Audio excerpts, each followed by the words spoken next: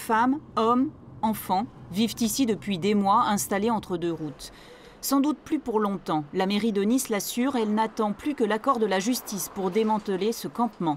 La procédure est longue, alors en attendant une autre option, placer les enfants.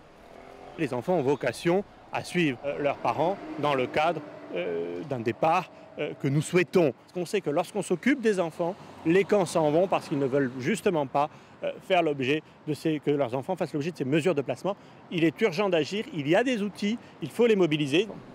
Les autres outils, ce sont ceux du département. La protection des familles et de l'enfance est une des compétences premières du conseil départemental. Le directeur de cabinet de Charles-Ange Ginési a récemment rendu public cette lettre adressée au premier adjoint de la mairie de Nice en juin dernier. Dans celle-ci, le département évoque ses difficultés à identifier les mineurs présents sur place et laisse la mairie et l'État utiliser leur pouvoir de police pour mettre fin à cette occupation anarchique. Du côté des militants d'aide aux réfugiés, on s'inquiète surtout de l'avenir de ces familles sans abri.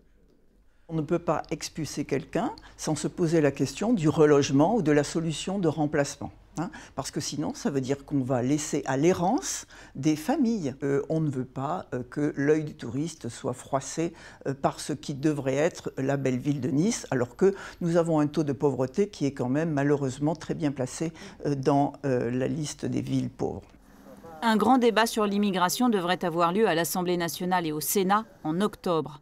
Christian Estrosi a déjà annoncé vouloir saisir l'occasion pour renforcer le pouvoir des maires. Il souhaite notamment permettre à la police municipale de mettre fin au campement sauvage.